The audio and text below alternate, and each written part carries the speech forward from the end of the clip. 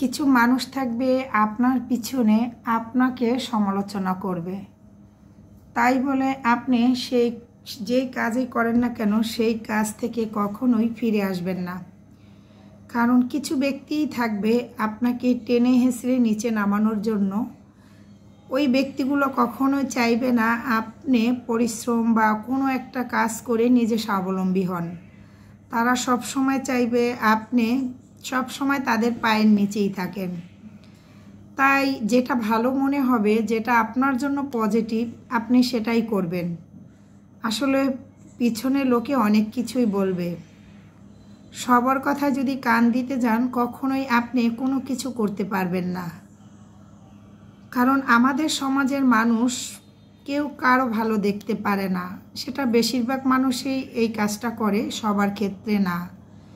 কিছু মানুষ আছে সব সময় সামনে একদম হাসি দিয়ে সুন্দর করে কথা বললেও তাদের পিছনে একটা মানুষরূপী অন্য কিছু বাস করে। তারা সব সময় ভালোটা চায় না অন্যের, সব সময় খারাপটাই চায়।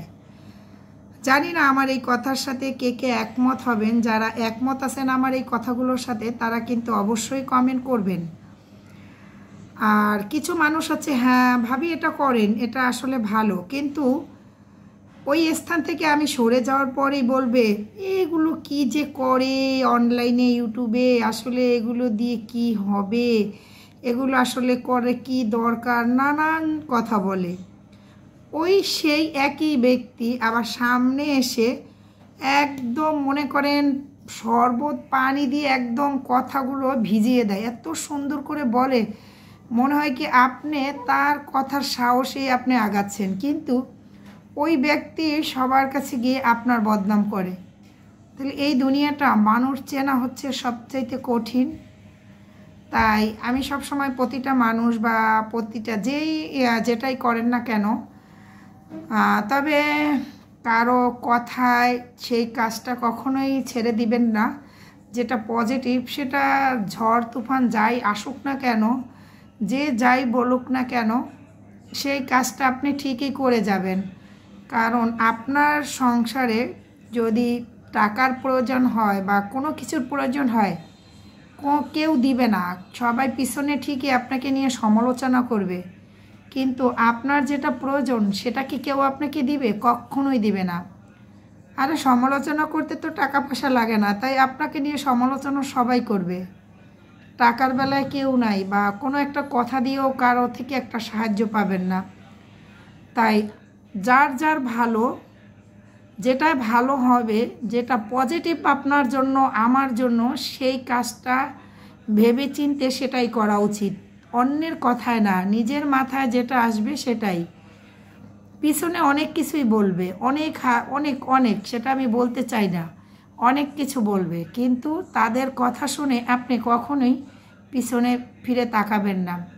যখনই তাদের কথা আপনি কানে নিতে যাবেন, তখনই আপনি আর সামনে আগাতে পারবেন না।